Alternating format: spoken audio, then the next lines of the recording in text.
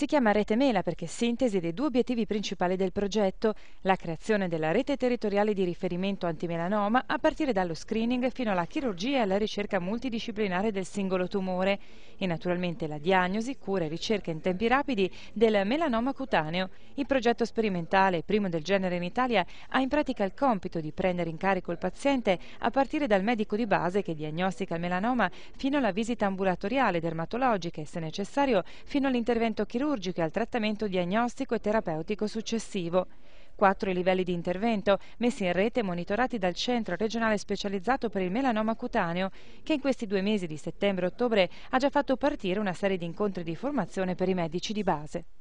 L'incidenza di melanomi nel Veneto è al secondo posto in Italia, noi abbiamo un'incidenza di 15-17 nuovi casi per 100.000 abitanti, circa 750 nuovi casi all'anno, ma quello che è più preoccupante è il fatto che eh,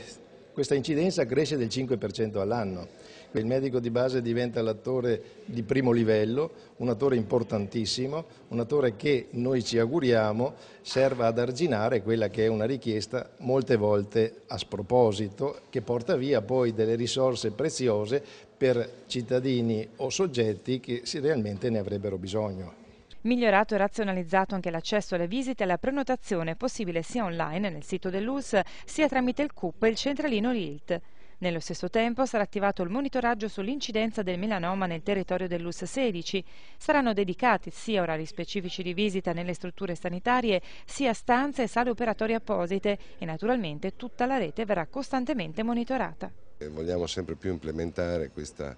questa tecnologia in maniera tale che ci siano banche dati, in maniera tale che ci sia un collegamento vero e proprio fra medici di base, fra eh, la rete ospedaliera al gran completo, comprese le cliniche universitarie